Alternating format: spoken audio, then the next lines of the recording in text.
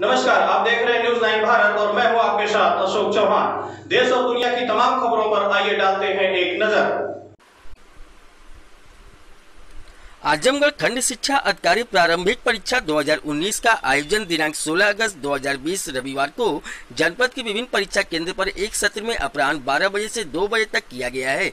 तत्क्रम में जिलाधिकारी राजेश कुमार की अध्यक्षता में नेहरू हाल के सभागार में उक्त परीक्षा को नकल विहीन शांतिपूर्ण ढंग से संपन्न कराए जाने के लिए sector static magistrate, zonal magistrate व केंद्र व्यवस्थापकों के साथ बैठक संपन्न हुई। जिलाधिकारी ने बताया कि खंड शिक्षा अधिकारी प्रारंभिक परीक्षा 2019 लोक सेवा आयोग द्वारा आयोजित की जा रही है। उक्त परीक्षा को कराए जाने के लिए अड़तालीस परीक्षा केंद्र बनाए गए हैं, जिसमें से तेईस परीक्षार्थियों द्वारा प्रतिभाग किया जाएगा। जिलाधिकारी ने बताया की उक्त परीक्षा को नकल विहीन व शांतिपूर्ण ढंग से कराए जाने के लिए समस्त परीक्षा केंद्रों पर सेक्टर स्टेटिक व जोनल मजिस्ट्रेटों की ड्यूटी लगाई गई है।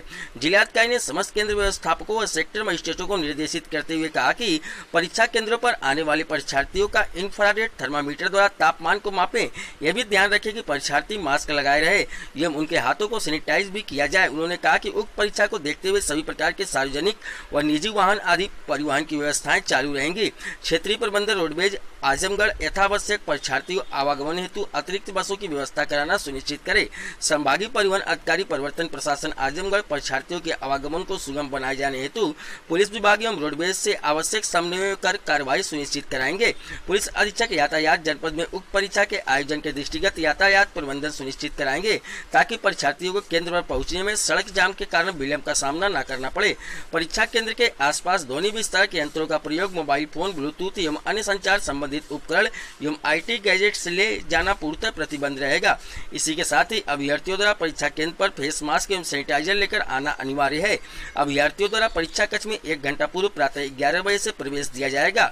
परीक्षा प्रारंभ होने के पश्चात विलंबतम पंद्रह मिनट, अपराह्न बारह पंद्रह तक प्रवेश दिया जाएगा। अभ्यर्थी अपने पीने हेतु पानी की बोतल साथ रखे। जिलाधिकारी ने समस्त परीक्षार्थियों से अपील किया कि मास्क पहनकर अवश्य आए एवं अपने साथ सैनिटाइजर भी रखें। अनावश्यक सामान न लेकर आए। परीक्षा में सम्मिलित होकर सावधानियों के साथ परीक्षा दें।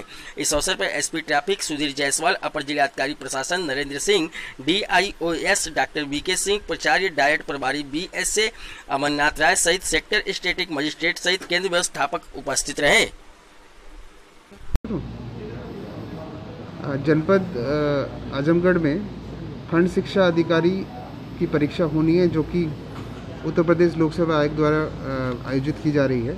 इसके तहत 48 सेंटर्स निर्धारित हुए हैं, जिसमें करीब तेईस हज़ार छात्र जो है, अभ्यर्थी जो हैं, इसमें प्रतिभाग कर रहे हैं।